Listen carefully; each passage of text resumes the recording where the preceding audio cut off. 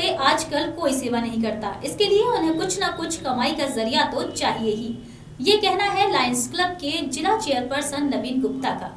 देखिए सेवादारों को किस तरह का लाभ दिलाता है लायंस क्लब झांसी के मेडिकल कॉलेज के मरीजों और उनके तीमारदारों को सर्दी में रात बिताने के लिए निशुल्क कंबल प्रदान करने के लिए लायंस क्लब झांसी सिटी की तरफ़ से भवन बनवाया गया था। कुछ साल पहले मेडिकल में आने वाले मरीजों को फ्री रात भर के लिए कंबल देने के लिए मेडिकल प्रशासन ने अनुमति दी थी। इसके बाद बिना मेडिकल प्रशासन की अनुमति के यहाँ एक कैंटीन का निर्माण करा दिया गया, जहाँ खाने पीने की वस्तुओं को बेचा जाने लगा। इतना ही नहीं, नियमों को ताक पर रखकर कैंटीन में घरेलू सिलेंडर का इस्तेमाल धड़ल्ले से किया जा रहा था इस अवैध कैंटीन की सूचना सीएमएस हरिश्चंद्र को मिली तो तुरंत अवैध तरीके से चलने वाली कैंटीन को बंद करा दिया गया।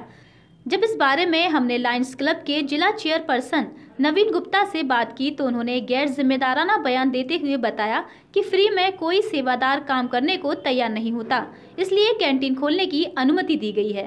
होती है। क्या लगता है सर जो भवन आप लोग सेवा के रूप में बनाया जाता है उसमें दुकान खोलना ठीक कह रहा है एक्चुअल क्या है कि दुकान नहीं खुली हुई है ये हमारे जो सेवादार हैं जी। जो इसमें हम लोगों को सेवाएँ दे रहे हैं इसका हम कोई पेमेंट नहीं करते हैं। ठीक तो है। इनका रोज़गार इनको रोजी निकालने के लिए इनको एक सुविधा दी गई है जिससे कि ये सेल्फ प्रोटेक्टेड क्लब से प्रोजेक्ट चलता रहे जिससे कहीं कोई ये अवरोध ना आए कि सैलरी नहीं मिली आप आदमी भाग गए और अब हम सेवा नहीं कर पा रहे हैं तो ये निरंतर सेवा करने के लिए ये ज़रूरी है कि जहाँ जो सेवा कर रहा है उसको कुछ मिलता रहे तभी सेवा संभव है।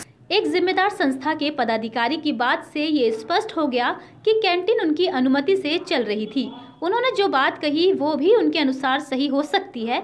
लेकिन अगर नियमों की बात करें तो ये कैंटीन पूर्णतः अवैध थी।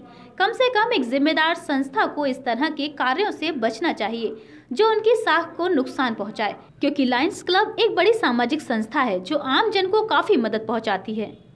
न्यूज़ बुंदेलखंड के लिए झांसी से मनीष अली के साथ जितेंद्र अहिरवार की रिपोर्ट।